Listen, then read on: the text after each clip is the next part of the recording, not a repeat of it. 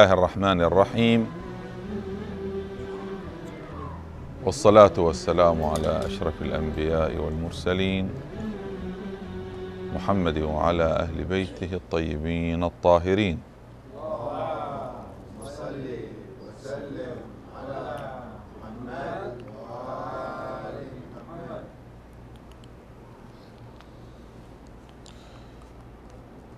المستحب الآخر بل الأخير هنا حسب تصنيف السيد اليزدي في العروة.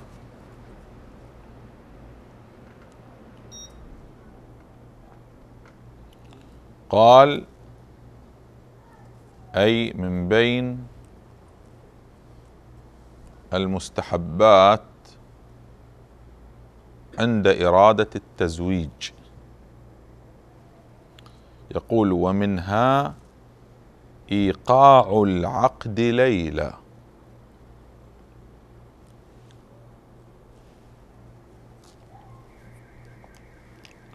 إيقاع العقد ليله عندما نقول أنه من المستحبات معناها وجود أخبار طيب. ولو كانت هذه الأخبار غير معتبرة من حيث السند.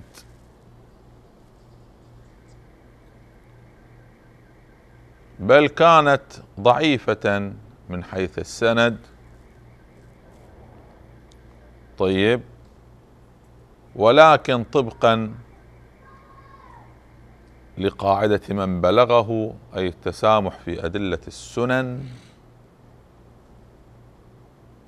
يقال فيها بالاستحباب بالتفصيل المعهود عند الفقهاء سواء بشرط الرجاء أو غيره.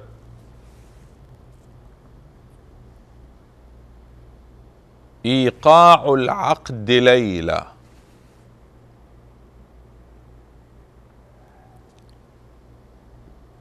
قبل أن نقرأ الروايات لا بد أن نفرق بين موضوعات ثلاثة أو عناوين ثلاثة. العنوان الأول العقد. طيب. العنوان والعقد يعني إجراء الصيغة صيغة النكاح التي تربط بين الرجل والمرأة. العنوان الثاني الزفاف. المعروفة عندنا بليلة الزفة. ليلة الدخلة يعني. هذا عنوان. العنوان الثالث المعاشرة الزوجية. هذا عنوان ثالث. طبعا يمكن أن نضيف عنوان رابع. وهو الخطبة. فعناوين عندنا أنا لم أذكر عنوان الخطبة في المقام. الخطبة ما ذكرته. وهو أن يتقدم شخص لخطبة فتاة. طيب. أذكر هذه العناوين. قلت إنما لم أذكر عنوان الخطبة لأن الخطبة لا لا يطلق عليه تزويج. الخطبة بذاتها ما يطلق عليها تزويج. طيب. وإن قلنا في سابقا في بعض الإشارات الأولية عندما تكلمنا عن بداية المستحبات. طيب. قلنا أن هناك بعض الإشارات يمكن ترتبط بهذا الموضوع أيضا. على كل حال حتى لا نروح بعيد. الآن إحنا عندنا أخبار. مجموعة روايات في المقام. طيب. هذه الروايات الآن نقرأها. فيها إشارة إلى الليل إلى المساء. لكن لنلاحظ أن الموضوع فيها العنوان فيها ما هو؟ هل هو العقد طيب الخطبة نخرجها من الدائرة. لأن لا يطلق عليها تزويج. فهل هو العقد العنوان فيها. أو الزفاف. أو المعاشرة الزوجية. المستحب المذكور هنا هو إيقاع العقد ليلة. يعني إذا واحد يريد يجري عقد يجري بالليل.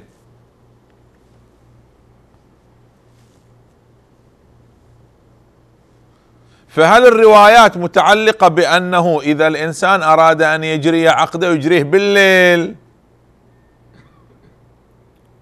لو أراد أن يزف على عروسه يزف بالليل.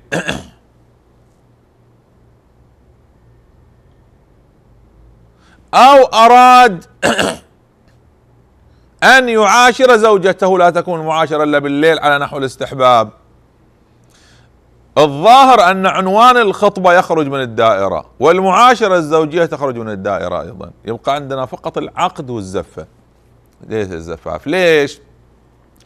اولا لأن الخطبة بحسب ظاهر الروايات الخطبة بحسب ظاهر الروايات في سيرة المعصومين عليهم الصلاة والسلام جرت نهارا.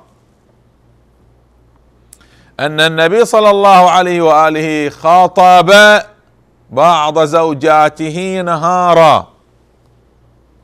وأن الأئمة الكرام عليهم الصلاة والسلام خطبوا نهارا. أضف إلى ذلك أن الروايات تتكلم عن التزويج وشبهه والخطبة لا يطلق عليها تزويج. إرادة تزويج. طبعا عندما نذكر أن الأئمة قاموا بذلك مو معنى أنه المستحب لا يكون يعني لا لا يمكن أن يكون المستحب بالليل لأن أهل لأن المعصومين عليهم الصلاة والسلام عليهم الصلاة والسلام خاطبوا نهارا لا يمكن أن يخطبوا نهارا من باب إبانة أصل الإباحة. يصير هذا. قد يخالف الاستحباب حتى لا يكون هناك اعتقاد وتوهم عند المكلفين أن العقد بالليل يكون واجبا. يعني إنما يكون واجبا بالليل ولا يجوز في النهار. لهذا يجرونه في النهار لرفع هذا التوهم والالتباس. يصير هذا. ولكن عندما نرى أن المعصومين عليهم الصلاة والسلام تقريبا في أغلب عقودهم في أغلب عفوا خطب خطبهم كانوا يخطبون نهارا. هذا يخلينا شوية نتأمل في القول بأن الخطبة لا تكون إلا بالليل. هذا واحد. بالإضافة قلت إلى أن العنوان الوارد في الروايات هو عنوان التزويج وشبهه وأصل الخطبة ما يطلق عليه تزويج. هذا واحد. اثنين العنوان الأخير وهو المعاشرة الزوجية. ثابت عندنا في الروايات أيضا أن هناك أوقات في النهار يستحب فيها المعاشرة الزوجية. مو فقط في الليل. ثابت عندنا أوقات مكروهة وعندنا أوقات مستحبة. لإرادة الولد لا على أقل تقدير. طيب. كظهر آه، أو عصر الخميس والجمعة. هذا من النهار. وهذا من الأوقات المشار إليها ولعلنا نمر في يوم من الأيام على مثل هذه الموضوعات. فالأوقات المستحبة للمعاشرة الزوجية مو فقط بالليل. اذا يخرج لو كان فقط بالليل لقلنا بأن الروايات يمكن أن تحمل على قضية المعاشرة الزوجية. بس عندنا روايات زين قالت بأن الاستحباب يشمل حتى بعض الأوقات في النهار. فيبقى عندنا عنوان العقد وعنوان الزفة. لاحظوا الروايات الروايات اللي نقرأها هذه. هل تقول أنه يستحب أن يكون الزفاف بالليل؟ أو تقول أنه يستحب أن يكون العقد بالليل؟ لاحظوا الروايات.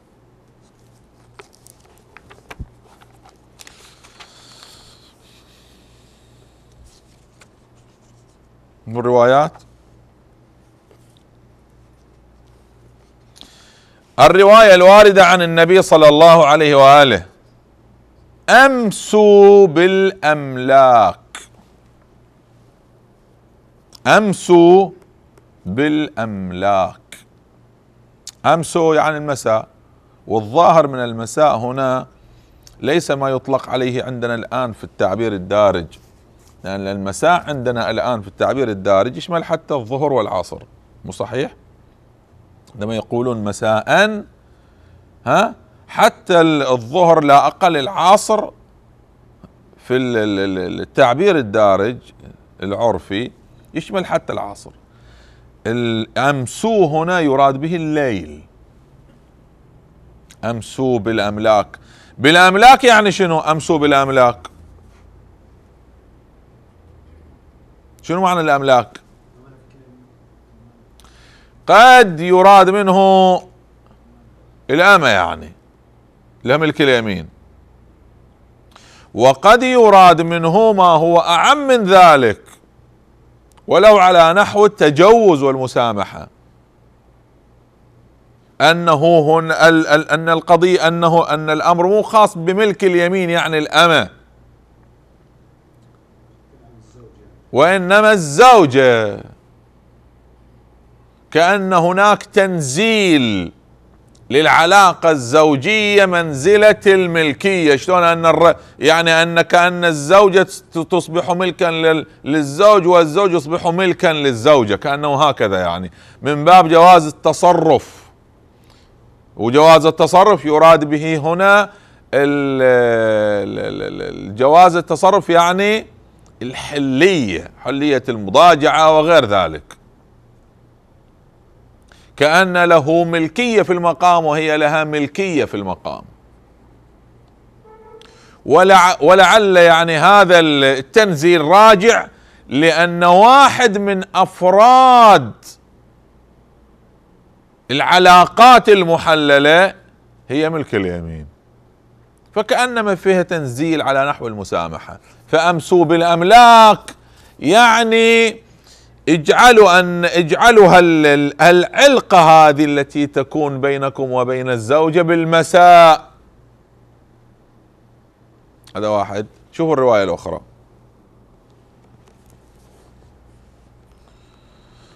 طبعا أمسوا بالأملاك فإنه أعظم للبركة. فإنه أعظم للبركة.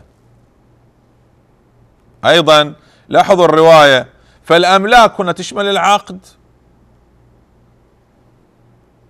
أم هي خاصة بليلة الزفة؟ أيضا لاحظوا الرواية الواردة عن الإمام الرضا صلوات الله وسلامه عليه. لاحظوا من السنة التزويج بالليل. لاحظوا الرواية؟ من السنة التزويج بالليل. إن الله تعالى جعل الليل سكنا والنساء والنساء إنما هن سكن. لاحظتوا الرواية؟ الرواية ماذا قالت؟ قالت التزويج. من السنة التزويج بالليل.